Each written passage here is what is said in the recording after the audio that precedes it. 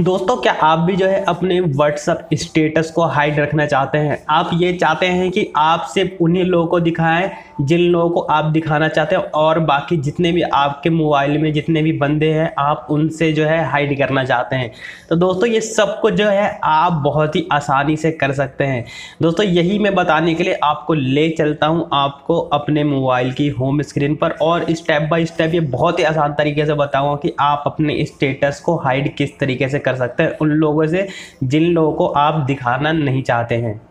Status hide करने के लिए हम आ चुके हैं अपने व्हाट्सअप पर। सिंपली हम स्टेटस वाले ऑप्शन पे क्लिक कर लेते हैं।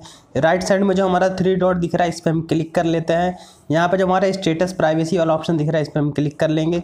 अब जो दोस्तों, इसके अंदर हमारा जो सेकंड वाला ऑप्शन दिखाई दे रहा है माई कॉन्टैक्ट एक्सपर्ट इस पर हम क्लिक कर लेंगे।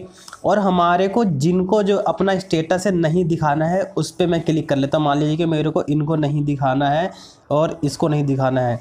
बाकी जितने पे जो मैंने क्लिक नहीं किया है, वो सारे के सारे मेरा स्टेटस देख सकते हैं और जिस जिस जिसमें मैंने क्लिक कर दिया, अब वो मेरा स्टेटस में कुछ भी लगाऊँ, वो कभी नहीं देख सकते। ये करने के बाद सिंपली यस वाले ऑप्शन पर क्लिक कर दूँगा। और देखिए दोस्तों, ये जो हमारा सेकेंड वाला ऑप्शन है, इस पर हमारा क्लिक हो चुका है।